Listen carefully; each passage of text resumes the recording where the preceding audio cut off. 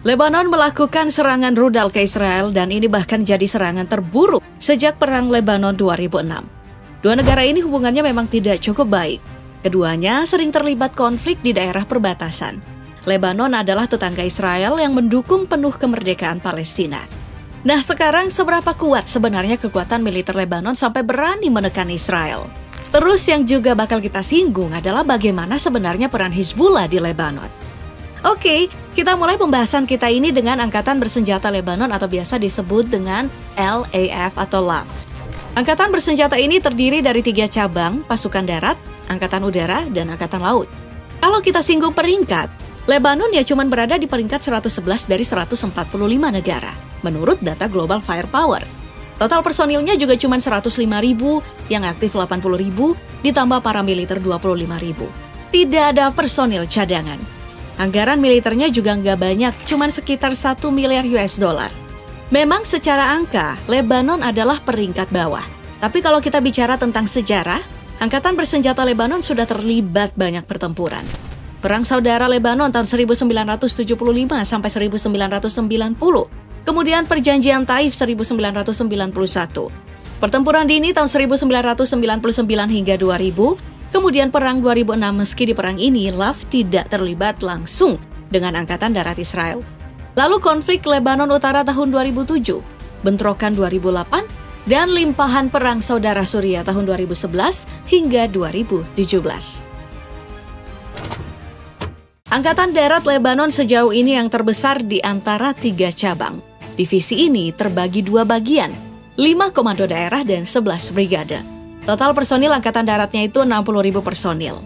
Nah, bicara tentang alutsista yang Tentara Angkatan Darat Lebanon ini punya, rata-rata itu diterima melalui sumbangan atau dengan harga bersahabat.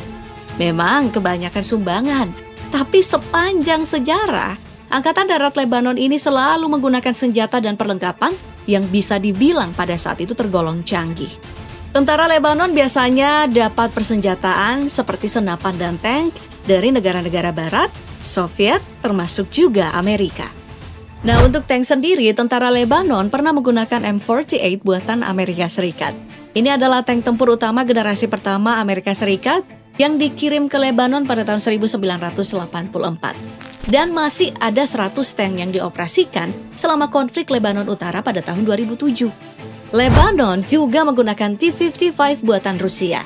T-55 ini adalah tank yang paling banyak diproduksi dalam sejarah.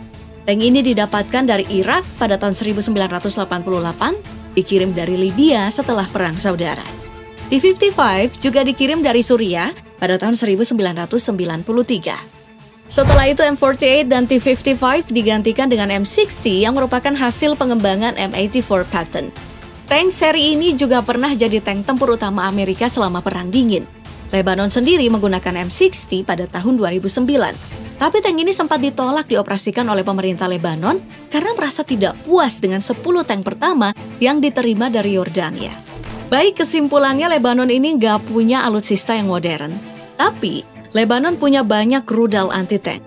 Di antaranya adalah BMG 71 TOW dan M712 Copperhead buatan Amerika.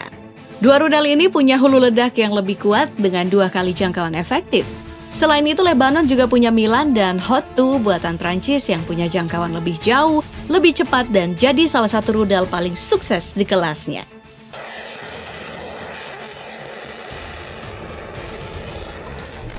Tapi bicara tentang rudal, aku mau menyinggung tentang Hezbollah. Israel mencatat Hezbollah punya 100 ribu roket dan rudal berbagai jenis. Beberapa di antaranya adalah rudal Katyusha yang punya jarak tempuh 40 km dengan hulu ledak seberat 20 kg. Rudal ini bahkan sempat jadi andalan Hizbullah untuk membuat takut pasukan Israel. Selain itu ada rudal Fajar yang jarak tempuhnya 43 sampai 75 km. Ada Zelzal yang punya jarak tempuh 125 sampai 160 km. Dan ada Fateh-Wanten yang jarak tempuhnya itu bahkan sampai 300 km. Melihat kekuatan roket Hizbullah, kamu mungkin bertanya, siapa sebenarnya Hizbullah itu? Nah, mereka ini adalah organisasi sekaligus partai politik dan militer Syiah yang terbentuk di Lebanon tahun 1978. Kegiatannya saat ini adalah mengusir Israel dari Lebanon. Tapi seberapa kuat sebenarnya pasukan Hizbullah sampai berani angkat senjata melawan Israel?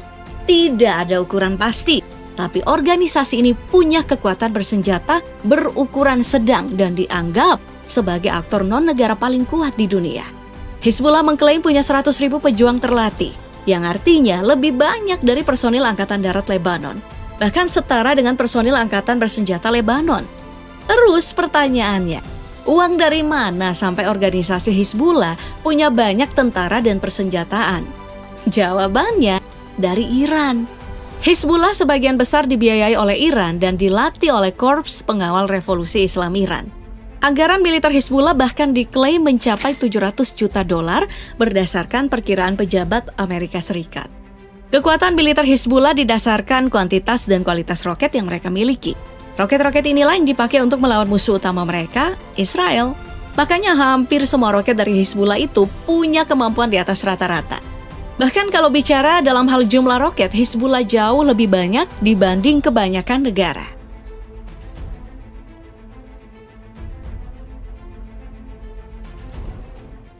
Kita kembali ke angkatan bersenjata Lebanon lainnya, yaitu Angkatan Udara Lebanon yang didirikan pada tahun 1949. Divisi ini punya peran penting dalam banyak pertempuran. Nah, yang menarik adalah negara setelah Angkatan Udara Lebanon didirikan. Sumbangan pesawat berdatangan dari Inggris, Prancis, dan Italia. Tapi meski dapat banyak sumbangan pesawat, Lebanon tidak punya pesawat tempur canggih. Untuk pesawat tempurnya, Lebanon hanya pakai Cessna 208 Caravan, pesawat ringan jarak pendek buatan Amerika yang justru lebih sering dipakai untuk kargo. Pesawat lain yang Lebanon punya adalah Embraer EMB 314 buatan Brasil, yang juga pesawat serang ringan untuk ancaman rendah. Karena kekurangan pesawat tempur, makanya Angkatan Udara Lebanon hanya mengandalkan kekuatan helikopter. Beberapa jenis helikopter yang dipakai Lebanon di antaranya adalah Bell UH-1 dan Sikorsky S-61 buatan Amerika Serikat. Kemudian SA-330 Puma dan Aerospatial Gazelle buatan Prancis, dan Augusta Westland AW139 buatan Italia.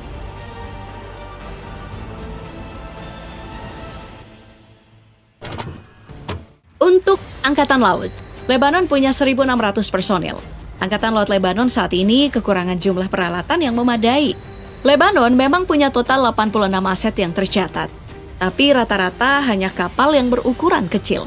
Tidak ada kapal selam, tidak ada kapal induk, fregat, atau kapal penghancur. Lebanon cuma punya kapal patroli sebanyak 22 unit.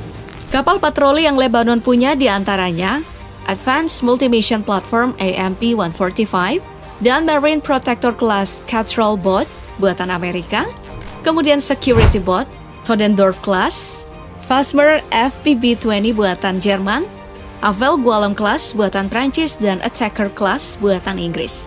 Angkatan Laut Lebanon baru mencoba memodernisasi armadanya.